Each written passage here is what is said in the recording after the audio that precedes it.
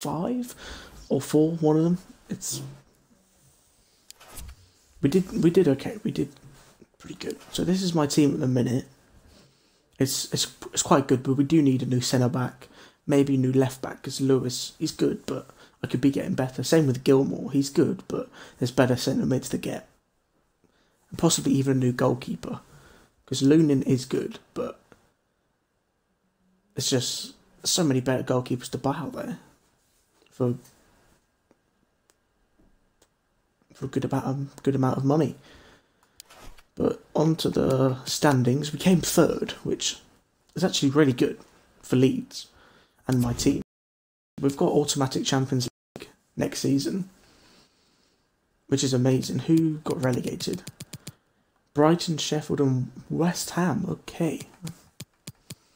West Ham going down to the Championship. We did lose the Community Shield on penalties to City.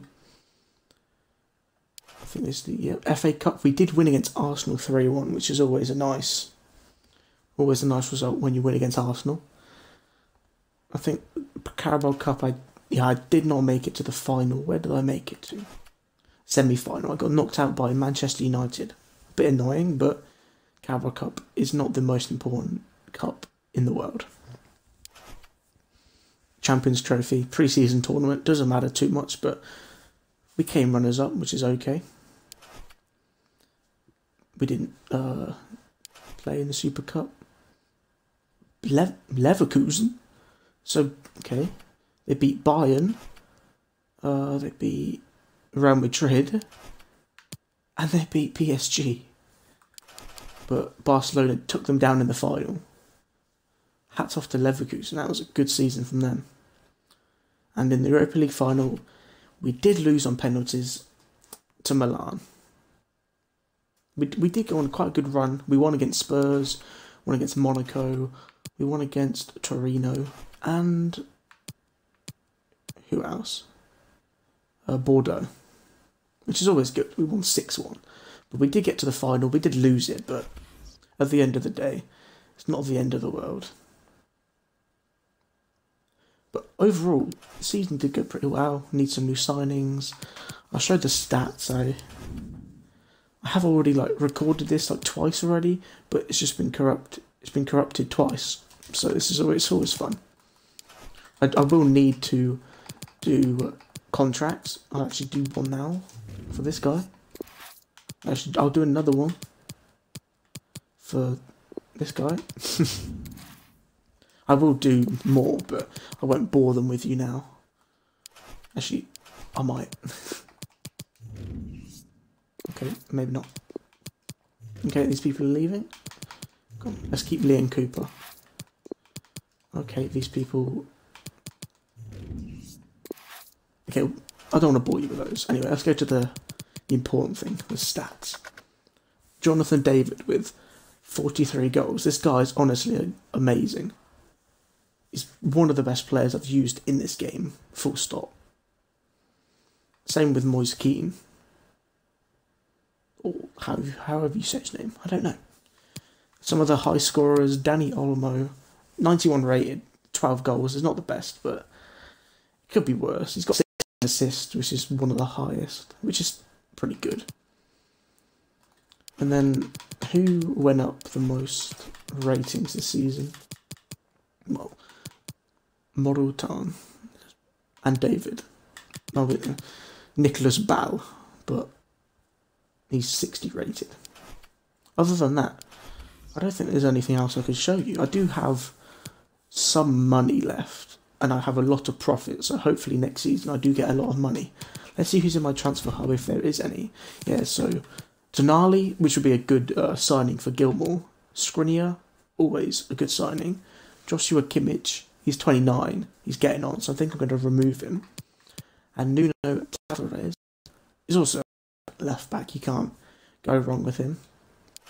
My favourite left back. That's I could also get some. Ooh, Nicolas Pepe would be good, but I do have Dani Olmo, so there's not much point in me going for a new centre mid. Uh, I mean right wing slash cam. I'll definitely be needing a new goalkeeper. Lunin's good, but There's Donnarumma, there's Lafont, there's Onana, Kepa. There's there's many, many, many, many better goalkeepers I could use. But other than that, I think that's the season overview done. This is a this is an extremely short video, but I did record like a forty minute long video of me simming from like here. Yeah, I just recently played Monaco. Uh, and I started the recording. Did did all of this, simmed all of this, played the Europa League, played the FA Cup, ended it, and it went and the recording went corrupt, so I couldn't upload it. So it's a bit annoying, but at least now I can just do this and show you how everything went. But I don't know if I should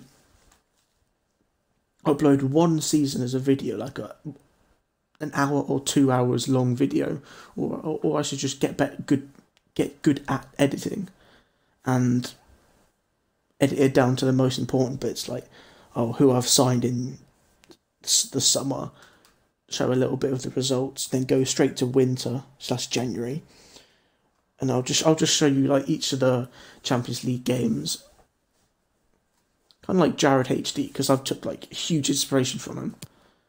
He's one of the reasons I started posting FIFA on my TikTok like four months ago, possibly even more now. Actually, maybe even six.